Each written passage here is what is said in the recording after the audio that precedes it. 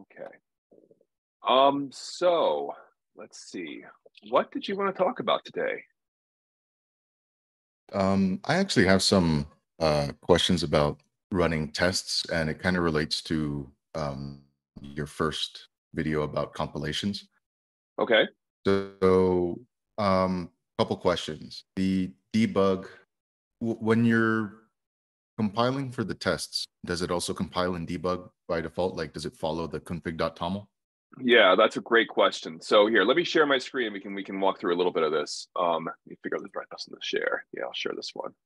Um, so the answer here is that um, the config.toml has settings that control this, but it's not gonna. I don't believe it just inherits the um, the settings that are used from the, the the main build. So yeah, like we've reviewed in the in the first video, there are these things about debug equals false and and optimize equals true in the in the Rust section. but there's a separate area um, regarding the tests, and in particular, I believe like this is what you care about for that for the compile. I assume you're talking about the compile tests that are the compiler tests are all the things I believe that are under source test, or actually nowadays test that, that we've moved it all to be under test instead. I have to update my repository. But the point is the things that are like the UI tests um, that are tests of the compiler itself, those are uh, all driven by the compile test program. That's the thing that's like doing the checking of the error annotations and whatnot. Uh, so a good example here might be this thing here where we have these these um, these tildes and error and and various things like that. That's all driven by compile test. And so if you look in the config, there's an example config.toml that lists all the settings you can choose. And that is where you could set saying, I want different settings for um, the tests. And so, yeah, I think that's the main thing is that this this controls. When you say debugging, you're talking about the like the dash G option, passing that in terms of like having it include debug info with the test? Um, you mean? I think my biggest concern is just that it doesn't slow down the compile times when I'm trying to run tests. Yeah, well, but the compile times, the compile times themselves, the compiler, that's gonna be driven by how the compiler itself is built. Um, and so if you want your compiler to run as fast as possible when it's compiling the tests, then that is the thing for that's in this um, the Rust setting of of up here under the Rust section, and this debug equals false. So yeah, I guess my answer may have sounded contradictory. Um, it's something where you have a compiler that you're building. Uh, yeah, I'm going to turn off screen sharing for a second to see if I can. Uh, uh, can I turn screen sharing? Let's see. How do I do it? Come on, Zoom, help me help me figure this out. Um, so the the point is that you've got the compiler that we've built, and that has a set of settings, and the it's going to be have the optimize optimized setting, which you probably set the true, and it's going to have the debug setting that controls whether the assertions on or on or off, and whether it has the debug logging turned on and off. And so the test suite is going to be written, run with whatever compiler you built either way. So if you want to have the compiler run as fast as possible in the test suite, then you need to turn optimizations on and debugging off for the compiler. I'm, but I really advise against that while you're in inter- beginning development because in particular you want those assertions running um, against the compiler when you're doing things in development. You want to have the internal checks happening to make sure that whatever you did isn't breaking some internal invariant of the compiler while you're still learning about the compiler. I can understand the motivation of saying, "Oh, I want the test to run as fast as possible." So I guess once you're, if you're really confident that your test that your your code change is, is sound is, is correct, and you really do just want to see the effect it has on the semantics of the, the compiler in terms of like what out, how the output changes in diagnostics, for example, then sure, then you could have a debug equals false, optimize equals true setting for the compiler and, and run the test suite as fast as possible.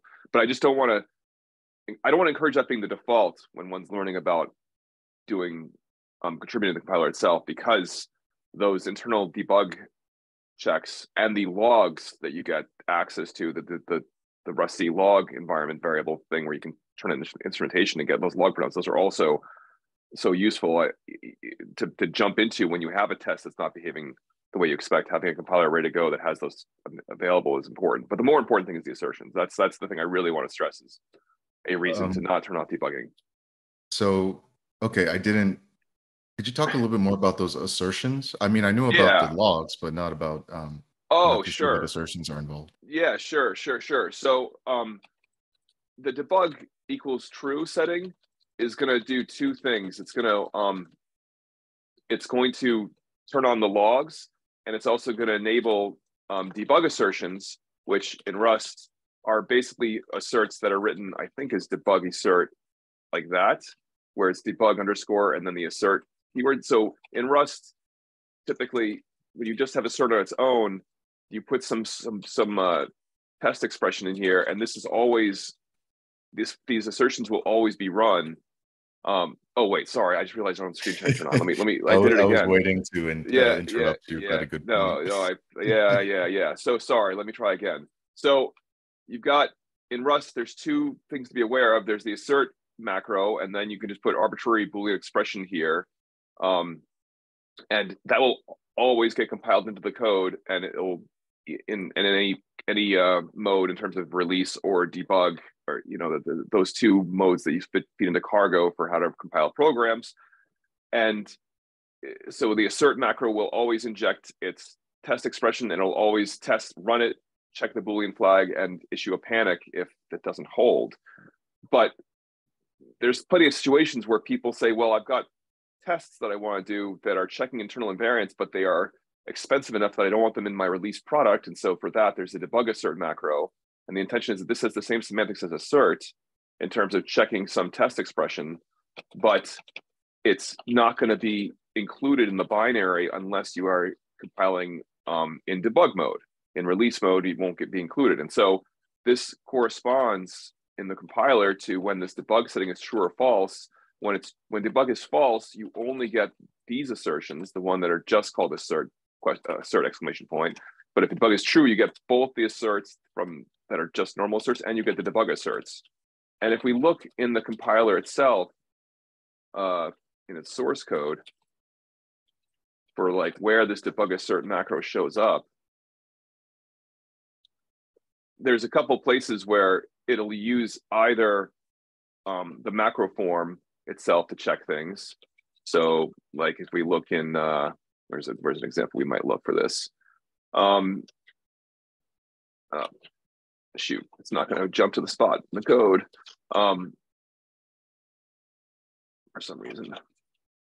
So like all of these invocations here that are checking that this thing is equal to this thing, which the belief is these this should always be true for when this function is called, but you won't get that checking happening if you aren't building the compiler with assertions turned on. Now I have to admit, I'm I'm looking at this now and thinking to myself, like, why on earth did somebody think that this needed to be a debug assert? Like, it's not expensive at all. It shouldn't be expensive, I would think, to call any of these expressions and to do an equivalence check on a number. So I don't know why people, maybe people just, well, it's possible that somebody did some instrumentation and determined this was this was such a hot piece of code that um, it needed to have that needed to be conditionalized. But also another example is this: it's more typical to this kind of thing where somebody has debug assertions where the config flag debug assertion is guarding a larger block of code um, that does more complicated things in terms of either the checks are more complicated or more likely the instrumentation it prints out is, is, is complicated enough to compute and construct that they don't want to include it in the binary even unless you've opted into that. It, it's important to remember that um, if, it, if this kind of code here um, if you encode this as, as, a proper assertion, it, it, shouldn't do the work of computing these, um, I believe, these things here, unless the assertion fails. There's a way to encode an assertion where it has extra um, printout information about the the the input that was that was being tested. Uh, is there an example where I can see this here? Let's see. Probably not. No, not in this code. Um, let me see if I can find another one. What I'm, what I'm looking for here is an example where somebody was using assert and passed in a different string for the, uh, like this. In the borrow checker,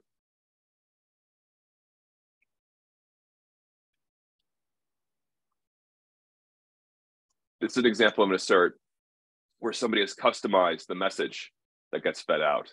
So instead of just saying that this Boolean flag is false and should be true, or sorry, this Boolean flag turned out true and it should be false, um, this person included a, a, a, more a nicer message. Now that's not expensive either, actually, to, to, to print out though or to compute. So the real thing I wanted to try to find was an example with a custom message that has um, extra information attached to it, which is usually like the same form that the log statements have of the format string.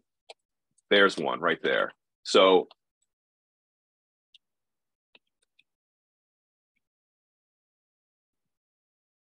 So here, if erased needs infer ends up being false, uh, ends up being true, then this thing is going to issue a debug assertion that prints out the the debug formatted form of the erased object itself. So that's an example of something that might be an expensive operation to run, and um, so but it won't be that it won't be executed unless this assertion doesn't hold. But there might be context where people say, you know what, it's expensive to even just have the code in the binary to do that computation, and we don't. We want the compiler to be as fast as possible, so we're gonna we're gonna guard this under a debug assert so that the code that does any of this, including the computation of how to print out the formatted erased object, just won't be present unless you're running in debug build. Does that make sense? Yep. And uh, just to uh, like an extra question. These debug assertions um, stop the compilation, the reg- just like regular assertions. Yeah, yeah, they are just they are like they are hard stops um, that will cause the system to panic. Um, there's okay. other ways to say that you have. I, you may have encountered this, and I can't recall now, but there's uh, pa- panics from the compiler core end up corresponding to the internal compiler errors. The ICEs are called ICEs um, because ICE stands for internal compiler error. And so the kinds of errors you can get from the compiler, there's there's there's sort of two classes of error. There's the kinds of errors that are caused by the the program text itself had a had a mistake in it, and so we have the whole diagnostic system for that, right? That's something where the compiler should behave should correctly identify that there is a problem in the code and issue a well-formed message that goes through the diagnostics machinery to print out nice structured information. But the other kind of error you might encounter is something where the compiler itself has a bug, and either and and we detect this bug on the fly through checking these assertions, and that is the thing that will end up corresponding to an internal compiler error, where you see this usually not nicely formatted message, but rather a you know just a sort of throwing up a hand saying, "I can't make progress, I don't know what to do, and I'm giving up. I'm going to you know stop the compilation right now." And that's what these asserts and debug asserts or just outright panics you know people can just can, people could write the code to just call panic directly instead of encoding as an assertion they end up all meaning the same thing in terms of what the user experience is like there is one other case though there's um cases where people will we have this whole system for when we have a di- when we have an error in the user program we often try to recover from it. We often try to say, because like for example, parsing, you have a parse error where the, there's a mistake in the user's program where there's some incorrect thing about the input and um, there's a mistake where they've written something and they left out a, a keyword or something like that, or, or they left out a bracket, who knows? The point is the parser can often do what's called parser recovery, where it will infer what the user probably meant, plug that in, and then keep going. And the reason to do this is not because you want to successfully compile the program. You're still going to not successfully compile the program, but you want to search for more errors you want to spit out as many errors as possible during the compiler run so that the user gets a larger batch of work to look, a larger batch of things to look at. Um, and also because sometimes that later information, there's cases where seeing that later information might inform you about how to resolve the first thing, although that's not that common.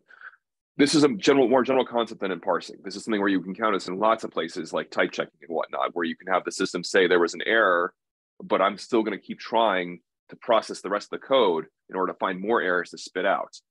Now, the big problem here is if you do this, and we do do this, this kind of recovery means that you can you can sometimes leave the internals of the compiler in a state that doesn't make sense. There's invariants that you might expect to hold, but that weren't were not established because the user's code was in error, and so because they didn't you know finish everything the right way or whatever, there might be some parts of the internal structure of the compiler that don't make sense to the compiler. Uh, some invariant that's supposed to hold that has not been established. And so that could be a case where you might expect that to cause an internal compiler error. And the whole problem here is that we do not want an internal compiler error in a case where we're just trying to recover and spit out more usable errors for the user. It would be very bad to batch up some errors to report to the user and try to keep going and then have a panic and not report any errors to the user at all instead have a, instead have this internal ICE error that means the compiler is broken. So the other very special case that I want to make you aware of is um, delay, what's called delay span bug, I think is what it's often called, where that's meant to be used where if you find an internal error in the compiler, usually people will, this isn't always the case, but oftentimes you'll see people say, well, this scenario, this invariant that's broken, it's a bug. It's something that shouldn't be ever be broken. But I know it could be broken if there was an error in the user program. Like the only, only sorry, let me rephrase that. This is an invariant that holds for correct programs, right? For correct input programs. There might be an invariant within the compiler that you're saying, I know this invariant is always established if the input program was correct. And so the way to check for that then is to say, I'll check the check that this property holds. And then if it doesn't hold, I will issue what's I'll issue I will make a call to this thing called delay span bug. Let me let me just grep for that too. Um, here I'll share my screen again so I can show you an example of it. Uh, so uh, delay underscore span, span underscore bug everywhere in here. So yeah, so there's a whole bunch of these um, in all kinds of places. I'll I'll go ahead and jump to the um, Sure, borrow checker, why not? Um,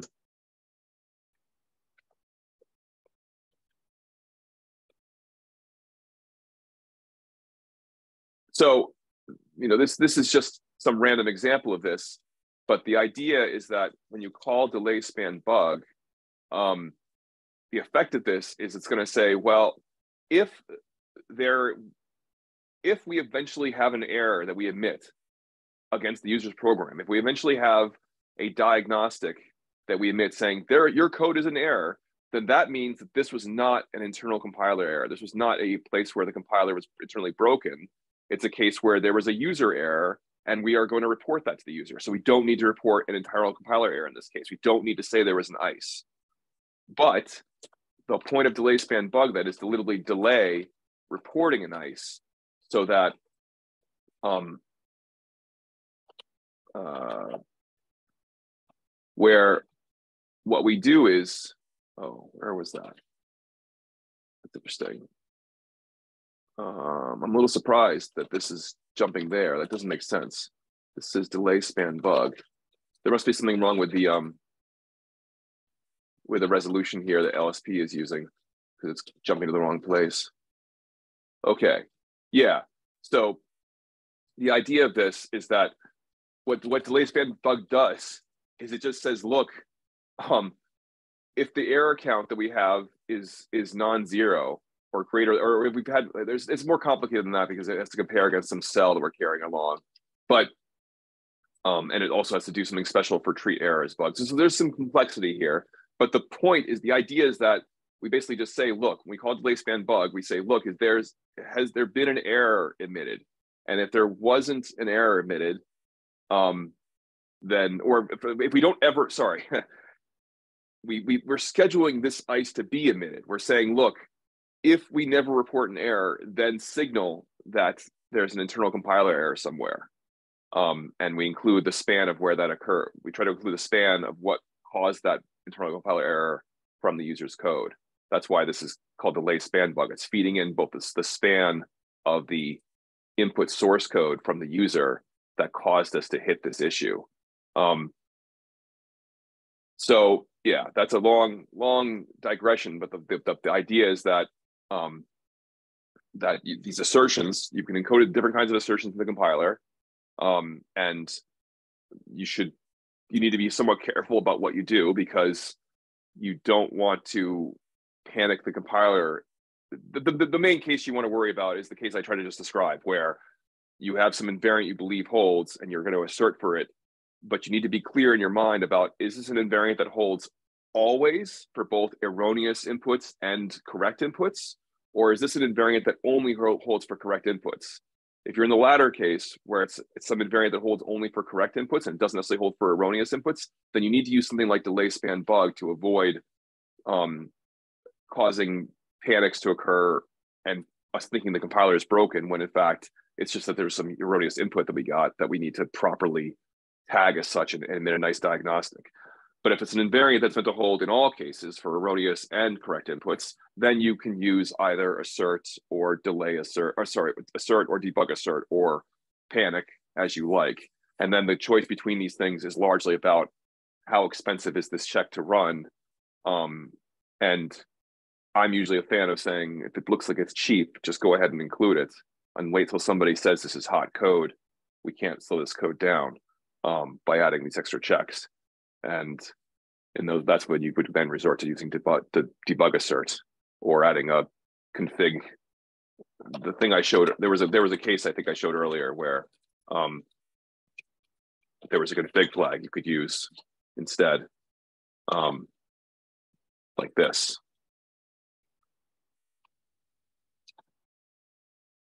Can't see the screen. Sorry, sorry. Of course you can't see the screen. Um,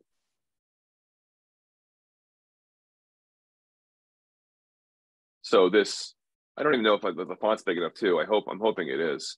Um, so yeah, so this is the other kind of case where you can you conditionalize the code. And so that, that, that debug flag in the config.toml file is going to control both both the emission of um, log statements, log instrumentation, log instrumentation, and it's going to control uh, this debug assertions config flag, which in turn will, when true, it'll have anywhere you do debug underscore debug underscore assert with a um, exclamation point. Those this piece of this kind of piece of code will run, and likewise blocks that are guarded by this config flag will be run you can turn on, I believe the config.toml actually lets you um, control these flags on their own. So that's, that's, so if you for some reason um, want to have debug assertions turned on, um, but not have debug info for the compiler turned on, you can get that kind of fine grained control. So in particular, um, this, so yeah, the bug info level is how you control the extra metadata that's emitted for a debugger like GDB. And so the debug flag that's at the top controls lots of things. Um, it controls this this flag here, this this uh, that's under the Rust section right? So corresponds, you, you might write rust.debug debug in some other specification um, system because there's ways to control the specific flags, I think, in places where you can call, when you call x.py, you can feed in specific values for certain flags in the TOML file. And this is the way you'd say this, this specific flag. And when this is true or false, that controls a lot of things. It controls this debug assertions thing that we've been talking about. That's what this indicates right here. Um, but it also, and likewise, then that that bubbles into other things like debug assertion standard, which those same assertions are embedded in the standard library that you build locally. And then the logging information about whether you have debug and trace calls turned on. That is inherited from debug assertions as well. So you can see how there's this trickle down from the Rust debug setting into these specific subparts and likewise um, overflow checks for, for numbers. When you have integers that your integer addition or subtraction happening or any kind of arithmetic uh, if you exceed the bounds of the number we check we will check for that if debugging is turned on. Otherwise it just adopts wraparound semantics. Um, and or modular arithmetic semantics. And then finally debug info level is um, controlling the metadata that feeds into a debugger like GDB. And this is the thing where if debug is true, it defaults to one, which means you get line numbers for functions and stuff. And you can set breakpoints at line numbers, but you don't get the type information for variables. For that, you have to have debug info level two turned on. Um, so if you're using a, if you're somebody who likes to use debuggers like GDB or Pernosco, um, then I, uh, such as me, I often set this to two down here um, because I want to make use of that information. But the reason we don't set it to two by default, even when debug is true, is because of this note right here that says that it generates it generates gigabytes of debug info metadata and slows down the linker. So it's it's expensive. It's not it's not free. Okay. Yep. Yeah. No, that uh, clarifies a lot, and um, it, it's cool to know that I can fine grain tune it as far as I don't want the debug statements, but I want to keep the assertions and I want the GDB output. Um, don't know if I'll end up using it, but uh, it's good to know that they're independent uh, as far as you can tweak that. Um, yeah. So okay, then so because the tests are run using the compiler that we've built. Um, so like for example, when I'm compiling, uh, initially I'll do x.py build uh, library. Yeah. And the next times I'll do the same, but with keep stage one. Yes, that's um, usually the pattern. Yes. So how would I be able to basically do that? But like, what's the what's the command for that? But when tests, like, so I can read. Is there a way for me to reutilize the um the keep stage from a regular build versus running it with the tests? Uh, the tests. Just...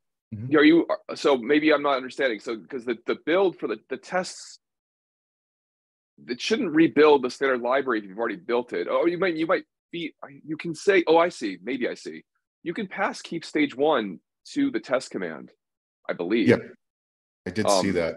Um, they don't they don't really uh, I, I don't think in the Rust-C dev guide it, it talks about like that that is going towards the compiler you built or I don't even know if it clarifies that the tests are just reusing the compiler that you built. So is there a way for me to is there a way for me to um when I am building the, the test? Mm-hmm.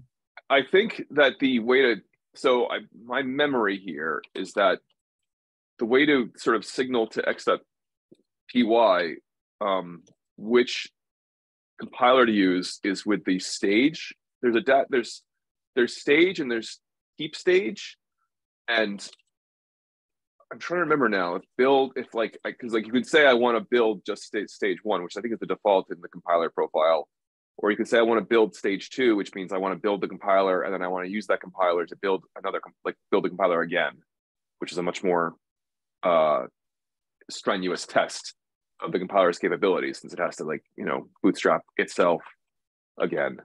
Um, and the stage argument, the reason why I bring this up is because the stage argument, I think, um, is used for uh, like if you're even the te- if you're doing tests, if you're running the test command, then I think the stage argument is used to control which compiler you're testing against. So, for example, I, I could be wrong about this, but I was I was thinking that if you passed explicitly stage zero, if you did x.py stage zero, I believe that what that would do it was would run the tests against the compiler that you first download and don't build yourself.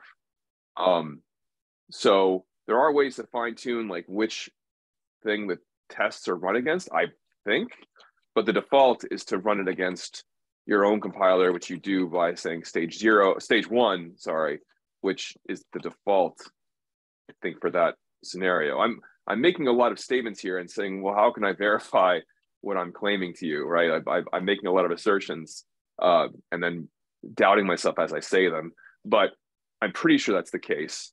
And I want to see if the better the options I can see here are either we can like try to run the thing ourselves, or we could look in the dev guide to see what it says. Um, so let's see here, building versus running. I'm looking. Let me look. Let me go ahead and share the screen just to show what page, what page I'm looking at, and we can maybe talk about it together. Um, mm-hmm. I'm assuming you've read this page already um, that tries to talk that tries to explain about bootstrapping, um, where it talks about the different compilers in terms of the stage yep. zero compiler is the one that you down we download for you and run. And then the stage one compiler is the one that you compile with that compiler. And the question now is, okay, there's these options and it says what the defaults are for each one of these options. Like building defaults to saying I want to build a stage one compiler. Testing means I want to by default I want to test the stage one compiler. Um, for making a distribution, I want to for whatever reason make a distribution where I want to build a compiler and then use that compiler again to build another compiler. Likewise for installing. So the, the, the, it chooses these defaults, but you can override them. And in particular, the thing I want to double check is my interpretation of what test means. Yes, look at this. So if you are the tests, the standard library tests, um, but do it against the bootstrap compiler, so against the compiler we download, this command would do that. So this is a way of saying, I want to run the test in the standard library um, and do it with the stage zero compiler that I downloaded myself. Uh, the reason one would want to do this is if you're developing, if you're like it says here, if you're working on the standard library, if you're making changes to the standard library itself, then this is a way to say, look, I don't want to spend the time building the compiler. I'm making changes to the standard library. I'm changing hash map in some way. I'm changing Vec in some way. And I want the I want to run the unit tests associated with that library artifact. And I don't need to rebuild the compiler to do that. So you can select the compilers to use, but the only time you would really want to change stage zero for testing is when you're doing standard library development. Um, and it gives here examples of what not to do. Um, I'm trying to think of like, yeah, see, like this is an example where doing tests of the UI tests on the stage zero compiler is not, they're saying it's not useful because we hope that the beta compiler has already passed these tests. Um, it's possible, now I say that, but I'm sitting going, well, I could imagine scenarios perhaps where a UI test on your own personal platform behaves differently than on our CI system. And so maybe you'd get information from that in terms of seeing a test fail when it shouldn't. So it's not that it is inherently like a no op or something like that. It's just that it's not a common thing to do um, because there's that's a pretty niche case where you'd have uh, a platform dependent difference on your local system that you'd want to investigate against the Bootstrap compiler itself and not against a locally built compiler. Um, Ooh, yeah. Uh, I, yep. I, okay, I got a question now. So, okay. um, and I think I may have kind of answered it myself. Um, so I know when we're building regularly, x.py uh, build and we put something like library, it's compiling a subset, uh, correct? Not yeah, like yeah, it's it's trying to get to the point of building the library itself. That's right. It's mm-hmm. it's it's not um because the default is to try to go further than that, I believe. Um, and, and that default is what test is going to build by default, correct? No, test needs to build actually more stuff. Test has to, for example, build the compiletest utility. That's something we build locally for testing the compiler. And so if you just do build on its own, my memory is that does not build the compiletest utility the first time through. So I wouldn't be surprised. I've, at least my memory from the times I've run this is that, yeah, for example, so it, eh, oftentimes when I do a x.py build, and then follow the x.py test, sometimes I get surprised by saying by seeing it doing compile like heavy duty compiles at first. I'm like, why are you spending so much time compiling? I just told you to do a build and you, you claimed you finished doing the build. But then I remember, oh, there's there's utilities like compiletest that it might need to rebuild. Um, okay, so that that explains it because uh, basically what I've been feeling, and I've, I've started using the time function now, um, is that like if I just built the compiler from making my changes and all that stuff. When I run the tests, it feels like it's basically doing the it's recompiling what I just compiled already. Like it's not reutilizing anything. Um, Are you passing the stage argument along there? I'm trying to think, or keep stage. Well, that might be a case for you to keep stage. Let me think about this for a second. Are you using keep stage? I am not. So you might need to be using keep stage. Depends on what you've changed. If you haven't changed anything, um, then I'm a little surprised. Let's see. Um, so do I have a, a, a, a build we can grab right here? Um, okay, so in my example here, I've got, I've done some builds and I'm not using keep stage in mind right here. So let me try your experiment myself locally, right? You can see what I'm doing, right? Um, yep. And hopefully this will go fast enough that we can get quick answers. So what's an example of a file that you might have changed? um, in your experiments? Can you Um, give me I one? was I was doing a lot of stuff in rustc_infer. Gotcha. Uh, okay. So let's just make uh, a change there. You know, let's just touch. I'm just I'm just going to touch the file, force it to rebuild. Okay. Mhm. Um.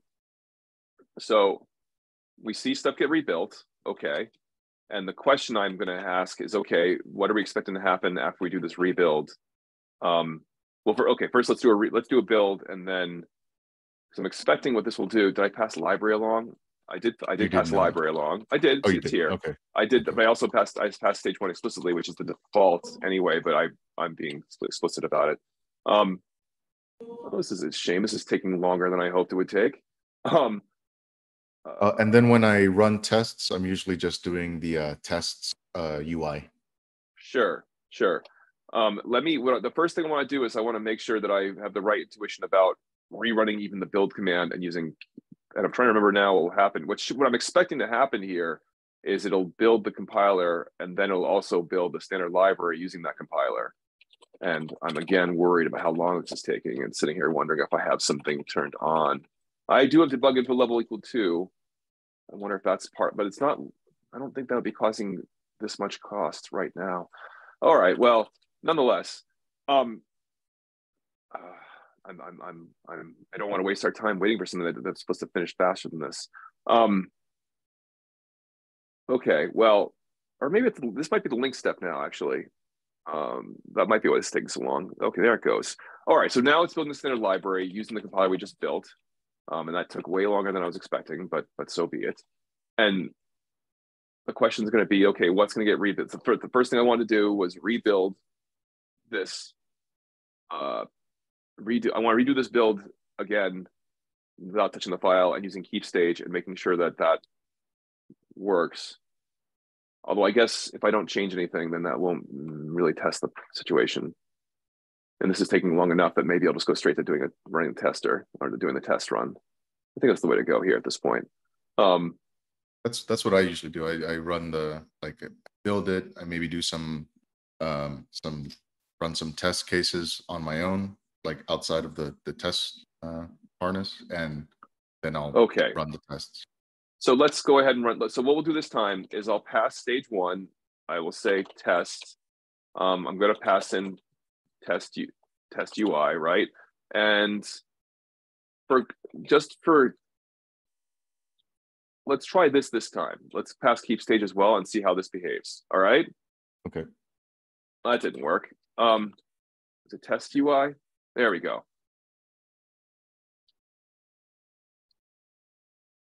So oh, okay. I didn't. that was a lot faster. So I didn't see anything get rebuilt there, right? And Yeah. but I'm not sure. But there's lots of possibilities as to why that's the case. In particular, um, it's possible that my passing keep stage caused it to say, okay, I can reuse all the stuff that I already have, even though the compiler has been rebuilt. So Mhm. let, me, inter- let me interrupt this. Let's try not using keep stage this time. I remember you mentioned like uh, I think in the first videos about keep stage and how you weren't even sure, like sometimes how it works in specific contexts. Yeah, there's in particular there's the case where you can it's very it's very simple minded. It's basically a blind trust that you are you have a standard library that you built and are confident will continue to work. And there's cases where this can get busted. Um, so yeah, it's often something where people will just remove it if they find that the system starts behaving oddly or the build fails in weird ways. Um, so I didn't see anything change there.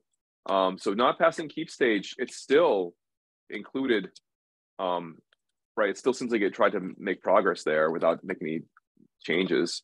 But um, So is is that because like you compiled? So if you first ran it without keep stage, would that have been the case? I don't think so. Um, and we can certainly try that experiment right now. So the first thing we did before was we did, he said build the same, we said build library stage one, right? That was the man we ran before. This should go quickly this time, right? We didn't, we didn't do anything. We didn't make any changes this time around. Um, right? It- it- we could make another change again. Maybe we would make, but let's, you know, this time let's make a change to something that's not quite so um, central to the compiler. Um, Yep. as infer. let's let's maybe make it to rustc_driver or something, because that way. Uh, oh, uh, which reminds me, has there been any changes to rustc_driver lately? I've noticed um, a lot of my builds lately are are taking a long time on rustc_driver specifically. Uh, I mean, it's been changed within the last month, clearly, but I don't know whether it's changes that would mean that would be significant. Um, because this, you know, it changed. It, it doesn't change frequently. You can look at like this. This history right here says January sixteenth, December seventh, um, December sixth, and then oh wait, then there's a, another another change from January. I guess this is not being printed in order. Um, right, because it's good and it's out of order. All right. Well, there's been some changes to it. Yeah, I don't. I don't know that much about what changed. To be honest with you, you're saying it seems like it's taking a long time building rustc_driver. Uh, yeah. I mean, I don't know if it's just like my memory's not being. Well, it might be the link. Well, it might be the link step is taking away i rustc_driver might be expensive to link. Um, so that might be a reason. Like remember, I was just mentioning before how, like, look at how long it's sitting here on this on rustc_driver right now. And Yeah. my if I you know what I should do probably is we should probably I wonder if I can get more verbose information out of this. Um, do I already have verbosity turned on? I don't. Let's turn on verbose, right? Let's see if uh oh wait, if I change this file, is that gonna make this whole thing go slow? Uh I want to be careful because I don't want to change the config toml and have that rebuild everything. Um Yeah. so I'm gonna interrupt this build. I'm going to restart, but I'm going to pass verbose. I'm hoping that will not force it to rebuild everything. Um, good. Okay, so now we see this may not tell us anything because it's it's just telling us, but this enormous command that it's running to build rustc_driver that doesn't tell us um, how long it's spending in linking. Um, is there a way we can see that information easily? Um, I think there's a way that we can tell the, the Rust command that we want to know about the because I think if I, I think if we say um,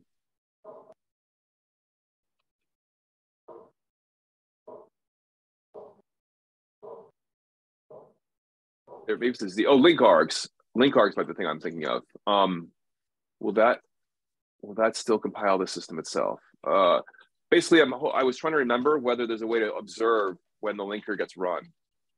Um,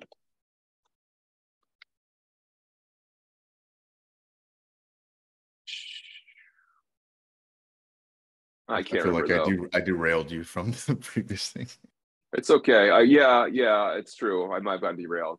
Um, but at the same time. I'm waiting. I'm, but, but nonetheless, I'm waiting for this to run over here. So, so we can Oh, see okay. this this run right here. It is doing. It's building some other. It's running some uh, build scripts now. So in addition to running the build of, sorry, where was that? That was the, we we started by building. The very beginning, we start off by building. Here, let's see. We start by building rustc_driver, and that was a big long command line. And then there's even other stuff that we it's then building um, stable mirrors, the smir crate here, and then the main rustc_main crate. And now it's doing building the library artifacts because I didn't pass keep stage one along. So I don't know whether the thing you're seeing is um, slowness due to linking, but it's certainly a, a guess I would make in any case. And the question is, how can we verify that? And I think there might be ways to do it, but I can't remember off the top of my head. Uh, Well, maybe uh, it's it's a thing to look at for like another topic about measuring the impact your stuff has on performance. Or yeah, yeah. I, I'm trying to remember I can pass Rust flags into um into the Bootstrap system um to get it to do other stuff. So if I pass in Rust flags, that'll pass in. Oops.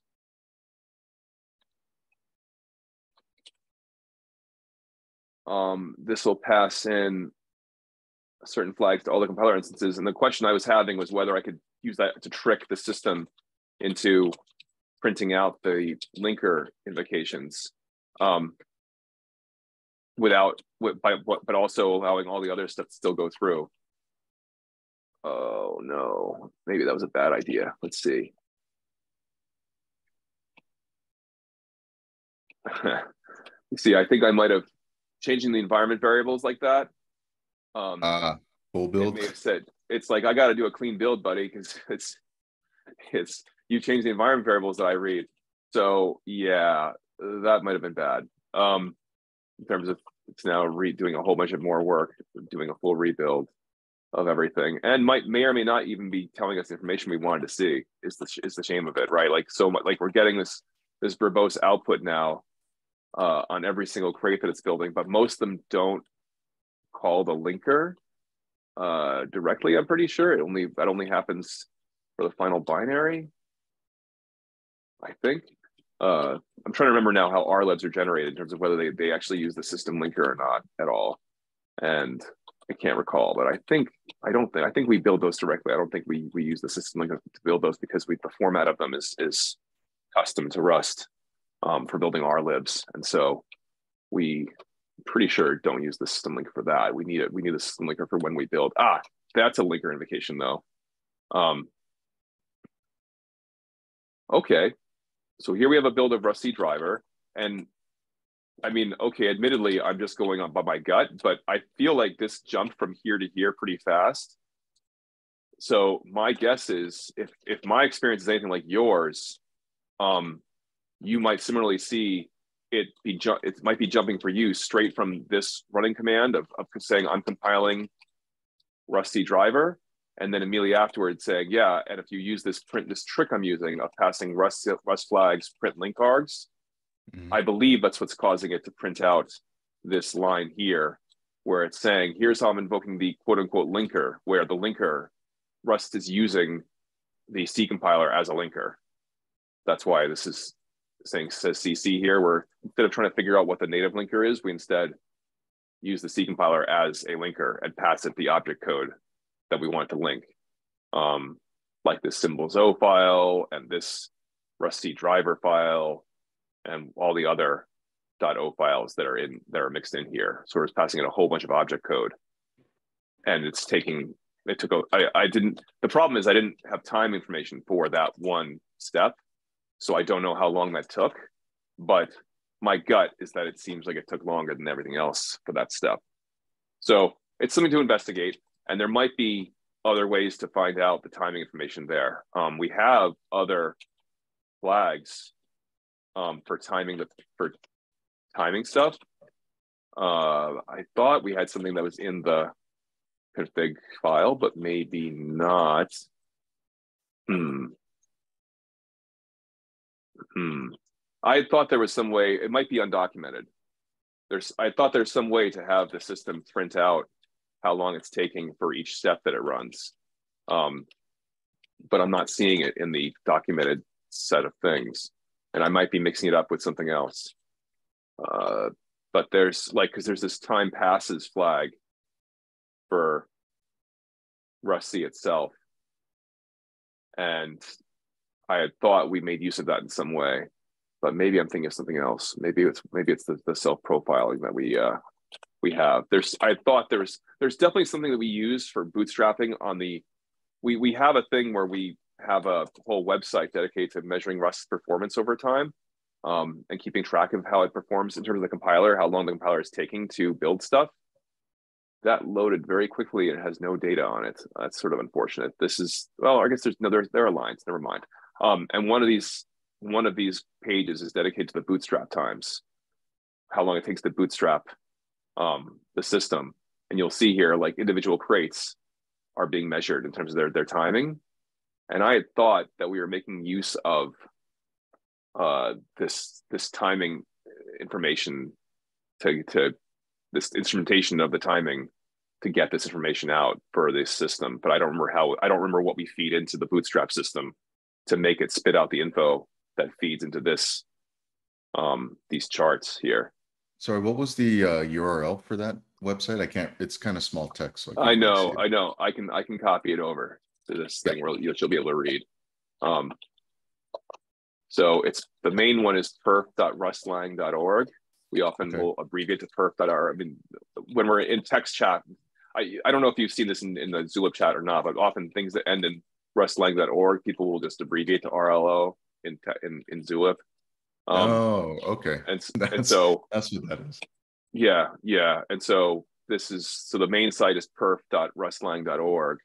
Gotcha. Um, and then at the top of it, there's a whole bunch of options for different pages to go to. Um, graphs, compare, dashboard, bootstrap. Um,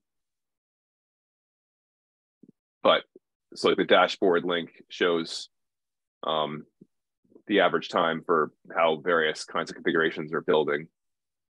okay. uh, So I can use this as this a together, sanity check if uh, It's- for some reason I feel like well, the problem is it depends what you mean by san- sanity check. The problem is that this is running against a particular benchmark machine um, that we've kept Yeah. like the specs for stable for years or whatever. So it's the kind of thing where it won't tell you about the times on your local machine um, directly. You might get some hint of like if you're off by like if your thing is 20 times slower than what's reported here, then that might be a hint of something. But you know, a factor of two, I wouldn't be surprised by. Mhm. Um, the, yeah, the- the no, I meant I meant more like just compares like oh, uh, for some reason compile times are much longer in the latest release. Ah, yes, That's yes, what I meant by might- sanity you, check. you might be able to do that with it, yes, especially with the bootstrap. Okay, so for example, actually, you just noted the bootstrap times. You said they they seem like they might have gotten slower for Rusty main, perhaps or rustc_driver. And uh, in fact, looking at this graph here, if you look, the total bootstrap time has jumped up. It looks like. Um, if you look over here, can you see these this blue line or not? Is it too faint Yep, for you to yep. see? Yep. Does that um, say January 14th on the the start of the peak? Yeah, it seems or January. Yeah, January fourteenth. It looks like that's right. Um, and then it went. You know. it- Yeah, that sounds about right about when I kind of noticed the mhm. slowdown. So yeah, Yeah, it's possible. check for, for this. And the well, the good thing is that this is this is um, by pull request, so you can click on the on the dot here, and it pulls up the diff for what the like what happened in that particular pull request in Oh, terms of the timings for what what got slower. And there's links to the pull request itself and the commit, so we can jump over to that pull request. This is a roll up of a whole bunch of pull requests, and you know we don't know that it was this one that um, See, I I already investigated this in theory, and so this doesn't seem worth investigating further. But I don't think I noticed the bootstrap timing issue when I did that, and it's also noisy. It's possible that this data is quite noisy, right? You can see it jumping up and down. Yeah. So, thinking that it's this particular pull request here, the, that same one I think we were just looking at, Mhm. It It, might could be have been the one before it, or Exactly, exactly. So it's the kind of thing where it's it's worth um, maybe looking at a few, you know, the this sort of group over here. But Yeah. it definitely seems like something happened in this. what is space. the what is the times different? I can't see the um the Y column. Um, um the Y. Yeah, good good question. Um, can I zoom in to help you with that? yep, that works. So it looks So- like it was around 698, um, and then it's kind of averaging around 702, 703. Yeah, yeah, I think that sounds right. Um, which is, you know, that I mean, that's this looks like a big jump, but it's because this graph is not um Yeah, what's the word normalize like it's it's it's it's not it Doesn't doesn't, start start, at zero. zero. it doesn't start from zero that's right so i don't know if this actually is meaningful right um and and, and who knows? Like maybe, like you said, uh, because it's on a specific machine, this the changes there that it affected it a little bit might have affected me a lot, if it's even related to. that's right um so the point is this we're looking at maybe a 1% right a, 1 or 2% slowdown perhaps um one sounds plausible and so that's that's tough it's something where that that is a that is a that is significant something we may want to investigate but it's also it may be hard to uh, eliminate so Mhm.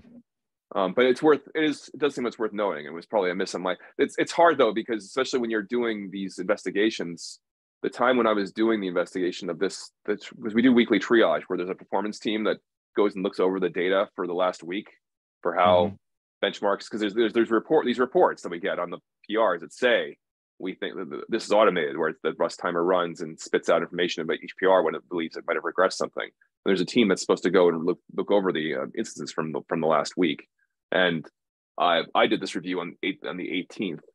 Um, so arguably that was long enough ago that I probably should have been able to. I, I will admit I don't think I looked at the bootstrap times at that when I did my review. Then I should have.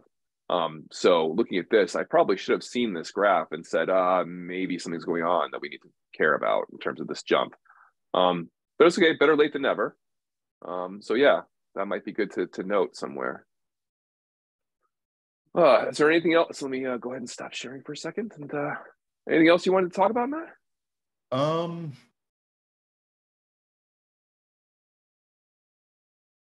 not not really. I think not nothing particularly when it comes to general tests and um and compilations. I think this helped a lot with with clearing things up for me for compilations. Uh, I, I need to look through the rustc dev guide a bit better, and then this was very helpful. So awesome. Um, yeah, I do have some other questions when it comes to, but it's it's not exactly related to. It's a bit more working group specific for like diagnostics, okay. um, and something I think I'm gonna maybe try to talk to uh, Michael in his uh, meeting hours or something. But like, um, when is something worth suggesting and when it's not?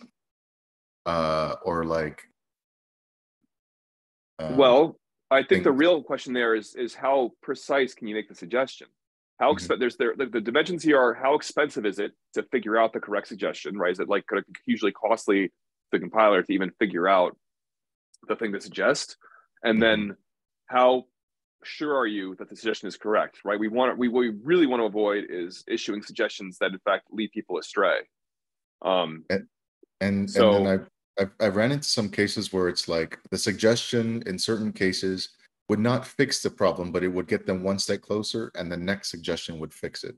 Is that like is that an acceptable thing? Is as long as it's kind of on that path, it's acceptable. Um, but then how do you know that's the right path? That might just be kind of like an edge case as far as that particular. That's case. true. That's true. Can you be more specific about that? I, I, have encountered the pattern you're describing where I've like, mm-hmm. you know, made a change and didn't fix the thing, but it did produce better output from the compiler. And you might look, the ideal thing would be for the compiler to figure out how to make that jump itself, right? Like mm-hmm. if, if, if the computation were free or whatever, and it was able to plug in the right, the same way I was talking about parser recovery before, there's mm-hmm. other parts of the system that do try to recover to make inferences about well if we if we made this change then what would happen? And um, so it sounds like this is semi-related um, but do you have a specific more specific like case in mind of where you've encountered this? Uh, i mean so I, I, finally got my first pr uh, approved and it's it just got rolled up and that's good. it took it took about a month and a half of Michael just tearing apart my my my PR and just like have I mean I learned a lot by by um, comments and his suggestions. Um and that actually kind of led to like I think in the first office hours we had some of my initial questions is like um, how do you know which parts look at in the compiler. And this kind of mm-hmm. went towards like debugging statements and, and that scope thing. So i have a i have a commit uh, or i have a pr and i can i i'll i'll, share that. I'll i'll show my okay. uh, stumbling. Uh, it's not a problem. And um and it it kind of went as do you want do you like, want to do you want to share sure, your screen? Would that be the simplest thing to do here, here uh, yeah I, that's let me see. Let me see if i even can. I'm using the uh I'm using the browser. That's why. So you can't? No, I, I think I can. Um, Great. Can you okay? Can you see my screen? I believe so. This looks like yes. This looks like it's probably your screen. Okay, so and you does the text look okay? Yeah, looks great. So um yeah, you can see like I forgot to run the test suite. Mm-hmm. Uh and so there is there is like 50 or 60 like comments and suggestions um and so it'll be things like uh like i initially when trying to identify whether sure. something was a function was using strings and and then mike was like use types to check so that's when i started yeah. learning more about like type middle uh rustc_middle um then things like here about the semantics or not semantics, but like the, the style guides for for for comments um and you know making language inclusive uh what else? There was a lot. Um i was using a, a help instead of a, a suggestion. Suggestion. Yeah. Yeah these are things Um, that i'm not surprised. Like i think that it's a lot to cons- lot to digest all at once in terms of like knowing about all these things yeah. and I mean, I could imagine maybe there might be like notes we could put elsewhere in the dev guide or some like guidance here, but I, but I think it's also part of the you know the learning process. Learning of, like, process. yeah, yeah. I don't. I'm not surprised by any of this. Um, yeah so some of the things was like oh some of them were actually some of our communications was in in, in private chat on zulip as well and i was asking and then i asked that question about um i asked that question about um if it gets you a little bit closer should we do it and then um i saw some of the affected tests and i guess So was I, it this was it this comment here that you're talking about? Is the one where like you, you were seeing evidence that it was spitting out? uh, Maybe I'm mis mis uh, identifying what you're you're saying. No, Um, no, it was it was. I, I don't think I'm even looking at anything kind of specific because I, I think it was just Oh, like okay. a general theme of this whole PR was was me um, stumbling my way through adding uh, adding things or removing things and you know learning about just how wide that scope is as Mhm. far as what it can affect in the compiler. And Sure. yeah, this is my. Oh, uh, it's my- great. my you should be proud. You should be proud. I I know you can, it can be embarrassing to have to show your work, but I think this is great. um, But yeah, okay. yeah. So back to the, so back to the original question. Then I think I think the answer here it's it's going to depend, and really it's going to depend on a like uh, the the scenario you talk about where you know moving someone a step towards the answer. My gut feeling is like that has to be better than nothing. Um, if there's if we have no other information, right? Like like giving someone no no guidance at all versus giving them nudging them in the right direction and them and actually closer to the right answer seems like has to be a right thing. So the question is, okay, when would it be the wrong thing? Because we're not in the absence of other other information. And, and the the crucial pieces of it are, I think, um, when someone One, opens an it- issue, what? when someone opens an issue, Oh, and you make the change and someone like is confused and opens an issue saying they're confused by the diagnostic like that. You mean? yeah Or, uh, yeah because uh because we don't have a test that actually um that demonstrates uh case where it would give the wrong I see. Right, right. That's then, and that's the kind of thing where you have to, you know, suffer with that. I guess Uh, you either have to predict the cases where it can go wrong up front by try, you know, thinking or thinking about the problem and the different kinds of inputs that it might encounter. Right. Mhm. This is something that we, where some people are pretty good about imagining uh, in the, the dimensional space that the system has where different diagnostics might lead one astray and how to narrow down. And then that even then though it's not a reason not to do the diagnostic. It's a reason to try to um, make it more specific more precise and when it fires to avoid the misleading cases. Uh, and- oh, uh, and um, a lot of the comments that Michael had actually, the source of it was from the failed test cases, which is Mhm. goes back to why I guess you're you're emphasizing our need to have more tests from the actual issue it stemmed from, like in the PR. yeah yeah i think so okay well this has been great matt i'm so thrilled that you got a pr in that's really amazing um Working on my second one.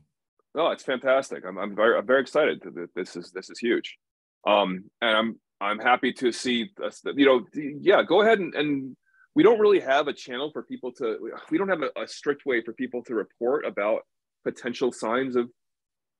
it- It's a funny thing. You you said yourself. It seems like rustc compiling rustc_main got slower recently. I know in my life there's been several times where I have been doing something locally and saying either this seems like it's gotten slower or this seems like it's breaking and I don't think it and I thought it used to work.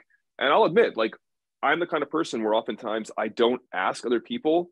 Like I assume it's just something wrong I'm doing, and I'll spin my wheels trying to figure out what I'm doing wrong locally. And almost always I have been wrong in that default behavior, even though I still do it to this day because of whatever social issues I have with like, you know, assuming that people don't want to hear about my nonsense. And the point is that I can only encourage it. There's no harm in going into one of the chat spaces in Zulip and just, you know, opening up a topic and saying, Hey, do people, do people observe that like this seems like it's going slower or do people also have problems like, you know, with this piece of the code is not behaving this test is failing because there's especially with flaky tests if there's a test that's failing for example and you're yeah. like what did i do wrong why is this test failing it might be that the test is a flaky test that other people are observing failures on or it might be that the compiler's icing. There might be some incremental compilation failure that people other people are ignoring but in fact other people are still witnessing and just ignoring.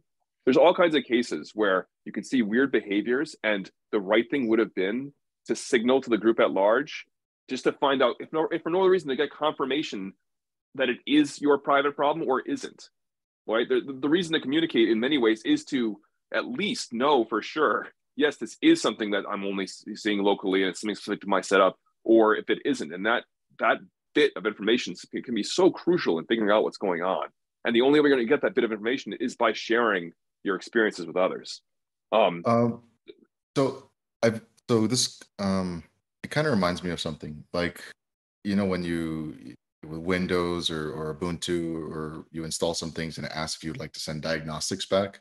Yeah. Um, is I don't know. What do you think about if there was just like a little uh, I don't know if it's like a hook or something that the contributor a, can voluntarily use and it very, wraps. This is a very, very, very active topic like literally right now. It's something we've been talking about for years. Mm-hmm. There's a essentially, and I think uh, the the answer here. I'm trying to remember if it's been posted officially as a major change proposal. I think it has. Um, let me double check. So, and I'd, I'd be the, happy to, to to put it on my machine as a. The the, the the the thing you're asking about is called the, the technical term for it is telemetry. Um, yep. and basically um, Esteban who Esteban Kuber mm-hmm. is a uh, contributor. Uh, somebody works with me with me uh, over at Amazon, um, and here I'll just show you. They they are actively working in this, investigating this space, and that they're trying to find a path for us to give exactly what you're talking about in terms of mm-hmm. providing ways for people to give feedback um, more effectively. And so the first a step that they are taking towards this is this this MCP right here. Um, Could you um, share that as a as a link or in the chat? Or... Yeah, yeah. Let me pull up Zulip. Um, Thank you. I'm interested so, in this as well. So yeah, I think so. The the, the basic heart, the, the real response here is that um, we've been talking about this for ages. Another case where it came up big time was actually let me share my screen again. Well, let me find the link first and then I'll share my screen. Um, we had a, a collection of issues last year or two years ago in the compiler where the incremental compiler was failing in a certain way. And we didn't realize how bad the problem was. We didn't realize how bad the incremental compilation errors were um, until we issued a release and then we started getting bug reports from people and we um it would have been much better to have better feedback earlier that didn't require a manual step of people having to file a bug report saying that the compiler is is failing in this way and so that's an example so the two the two main examples of places where we definitely would like to have better telemetry are ICEs, incremental compiler failure errors, and the other one where we want better telemetry is diagnostics. We want ways for we would like to have ways to know whether diagnostics are helpful or not. In particular, the big case that Esteban is very interested in investigating is he wants to Esteban wants to know when people how people respond to a diagnostic, the change they make, and what diagnostic they get next. And he wants to know whether they end up in a cycle where they make a change, diagnostic gets ch- diagnostic changes, they make another change, diagnostic changes, and eventually they end up back where they started. Because that's an example of something where whatever the path was, it seems like it was bad.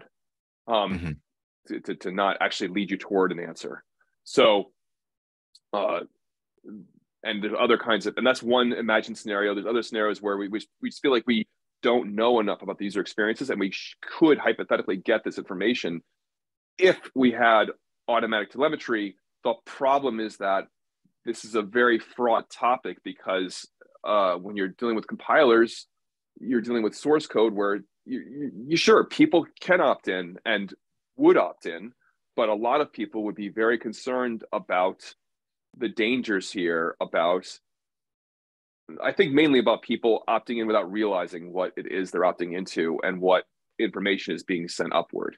Like and so it's a, what they're opting into.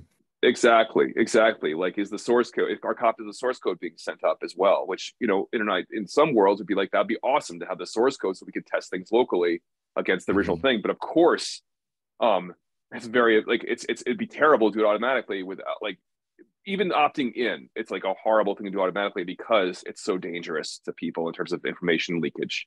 Um, so and and like who knows what information from your computer, like what other information, whether it's your IPs or something specific about your machine that may be sensitive for you specifically. Exactly. Exactly. So this is an area that we definitely want to invest in, and we're trying we're trying to figure out how far we can go and the conversations we can have with the community at large about it. And Esteban is someone that I trust very much to to be thinking about uh, keeping the trust of our community. Like our community health is like Esteban, the most important thing to Esteban, right? If a project like this goes off the ground, gets off the ground, and then they end up saying we can't get, we don't get any information at all. Esteban, I think we'd rather have that happen than to lose trust from the community members. So mm-hmm. they're someone that I trust to like make good decisions here. Um, they want to attack the problem, and I think a lot of it is going to be about both figure out the ways of what figure out what information can be fed automatically and automatically um, hidden in terms of there's there's things that he's looking at with differential privacy ways to automatically process information such a way that you can uh, uh, transform the responses so that you never learn anything about individuals and yet can still learn information about the group as like the, the system as a whole and how what the responses are like as a whole and then the other thing Esteban is heavily working on, I believe, is ways to make it easier for people to package up their experience and like whatever the problem was they had, and then get a concise view of what it is they are sharing and make it a very easy thing to like issue file the bug, mm-hmm. but have it be something where let's like like uh, you could imagine like as an example of the kind of thing that we're talking about is something where you click a button or you you type in a URL or whatever that the, the compiler spits out for you and then you go to a certain page and it tells tells you, okay, this is the bug report you are about to file. Here is the information that you are putting in the bug report. I haven't filed it yet. Read over this and make sure that you are okay with this information being shared. Mm-hmm. Um, and that way, the act of hitting the submit button is still in your hands. And right, if you don't do that, then nothing gets up. Nothing gets and up. You can audit it, and you can audit it. So that's an example of the kind of experience, a kind of experience that may still have some risk, but is way less riskier than the compiler automatically feeding information back. Mm-hmm. Um, as much as I would like to see that, because there's cases where I would like to see the compiler automatically spitting information back up to us, mm-hmm. but it's very risky. And then you, and then like the individual can kind of do kind of like how you do with roll ups, like just send it in batches um, whenever you feel that, or even a subset of the batch. Yeah, depending on what we're doing, depending on what they're, depending on what the individuals are doing, and depending on what we're doing. I, I my ideal world, we'd see you know crash analogous to like the crash stats that web browsers have where they have these mm-hmm. you know because web browsers get so many reports that it's not like you see individual bugs about crashes you see like mass quantities of data about you know the distribution of where crashes are coming from for the like that's how the stack traces are um yeah. the normal distribution of them or whatever and so I, I imagine it'd be something like that at least for ICEs diagnostics okay. might be more more personalized Awesome. Okay. Thanks for sharing that info. I'm definitely going to look. Yeah, no problem. It. No, it's a great. I'm glad to hear you're interested in it because like, you know you brought it up yourself, and I was like, oh wow, I'm glad to hear somebody like from outside is like recognizing that this is a real problem that we don't actually have mechanisms for this. Um, we know we knew this, and I've told other open source projects like you should build this in at the outset. Like I think we, I think we would have been in an easier spot to add this if we had had some support from, from the outside. Like we had had some mechanism in the system, a small one that we could evolve gradually because right now it's just it's really hard to inject something like that entirely new into a mm-hmm. system that has no support for it because then you just have this backlash of the system doesn't behave at all like this, and that's the what I that's what I bought into when I used it. I think that so I've there's been other projects, other tools that I've talked to where I've said, look, if you care about getting information from your users like automatically, you may want to think about having telemetry from the outset. Um, and, and of course, making sure it's opt in and all the stuff, like all the same stuff about trust and making sure people understand what they're getting into. But I still think there's a, a very serious um, hurdle to get over in terms of just when you initially, if you don't put it in initially, it's it's hard to get it in later. Yeah, like many things, like security and like like incrementality, uh, telemetry seems like it falls in that bucket too. And all right, who knows? Maybe maybe the user can uh, choose to have all of their uh, submissions taken back or deleted. Uh, That's true. That's that would that would be that would, that might require the problem with that is that would actually require tying some identity to the submission, which might be anathema to privacy Yeah. in the first place. Yeah. Um, but there might be a way to hide that. You're right. There, there still might be ways to have it be where your identity, where you have like a key or something, like a, a token that we don't Mhm. know who you are, but someone with that token has the right to get the to, to limit the information. That's actually an interesting, interesting idea that I don't know if we've broached that. double um, blind Esteban. kind of uh, approach. Exactly. That's that's actually a very interesting idea. Maybe I'll mention that to Esteban later. All right, great. Thank you very much, Matt. Uh, thanks for your time. Thank you. Bye bye.